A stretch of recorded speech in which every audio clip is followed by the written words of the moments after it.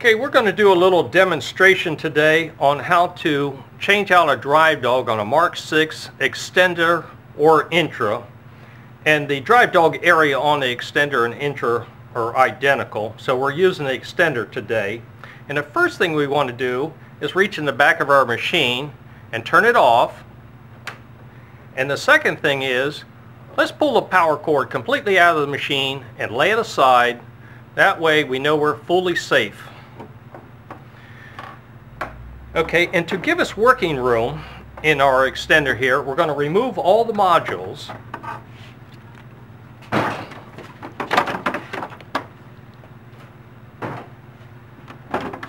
And we have a lot of small pieces involved in the drive dog. So to keep from losing small pieces in our chemical tank, we've pre-cut a little piece of cardboard here and going to lay it right across our tank. It covers the developer fixer and water. And on an intra, you'll be removing all three tanks and modules and you won't have to deal with the cardboard thing because uh, if you drop anything it won't be uh, into chemistry. And we're going to work on the fixer one here for demonstration today. And all four of your drive dogs are identical the way they uh, in shape and operate. And to get started, we simply grasp the outside of our bonnet, the uh, light color piece here, and we're going to turn it counterclockwise less than a quarter of a turn. And after we turn it a quarter turn, outwards it comes. Right behind that, we have our drive dog. And that's one easy piece to drive, drop into chemistry, but we got it safely today. Third piece, we got our spring right here. And then the last part of a drive dog assembly is a flat stainless steel washer in the back here, but that seldom comes out with the other pieces. And our main shaft here, which is D-shaped in design, never can come out from this side of the uh, machine. So on reassemble, we're just going to carefully look in there and make sure our stainless steel washer is back on our shaft.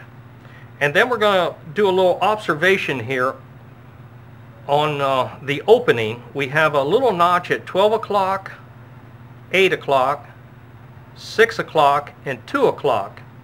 And we're using only the 8 o'clock and 2 o'clock that correlate with the tabs on our bonnet as we reassemble. So the first piece we're going to put back in is our spring. Simply slides over the shaft. And then we take our drive dog and make sure that our bow tie shape drops into the bonnet. That's the the way it is reassembled. This has to face outward and on the inside is a D shape that goes on this shaft. So now we're going to line up those tabs at 8 o'clock, 2 o'clock, right there. And then we have to take our finger and turn the drive dog until it engages with that D shaft. Hold in on the bonnet and turn it clockwise about a quarter turn or less and we're fully reassembled and we have a spring action on our drive dog, which is proper, and it sticks out about a quarter inch past the bonnet. And that's our simple reassemble of our drive dog, and we're ready to go.